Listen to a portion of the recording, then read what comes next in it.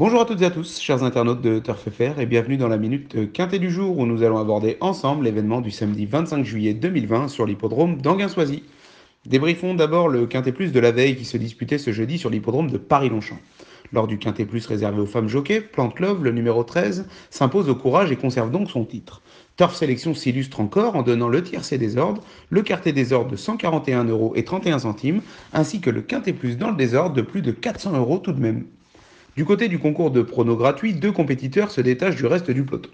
Il s'agit de CH Joe Po et Phébus qui, grâce à un quintet plus dans le désordre accompagné des bonnes bases gagnantes et placées, survolent le classement du jour. Bravo à tous les deux. Allez, filons maintenant sur l'hippodrome d'Anguin-Soisy en ce samedi 25 juillet 2020. Le prix du Faubourg Montmartre, troisième course de la Réunion 1, mettra à l'honneur des trotteurs âgés de 4 ans de très belle qualité. Ils seront 16 à se présenter au départ du parcours des 2875 mètres de l'anneau plat de Soisy. L'épreuve s'annonce très ouverte avant coup et il pourrait y avoir de gros rapports à l'arrivée. Goulette, le numéro 2, est une femelle de 4 ans promise à un très bel avenir.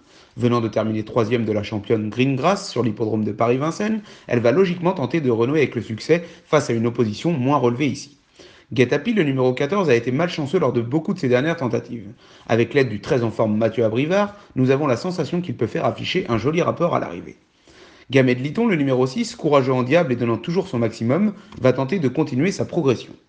Glorissima, le numéro 15, si Étienne Dubois, son entraîneur driver, lui fait prendre un bon départ, n'est pas incapable de mettre tout le monde à la raison dans ce lot. Galat Crène, le numéro 3, brillant lauréat par deux fois lors de ses deux derniers essais, aura logiquement des ambitions. Gondol Gélinou, le numéro 13, pétri de classe et piloté par un Louis Baudron toujours aussi à droite pardon, au sulky, aura des fans.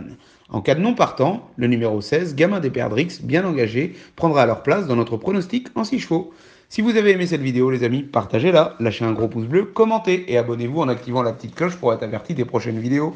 En attendant, très bon quintet plus à tous et nous vous disons à demain pour une nouvelle Minute Quintet.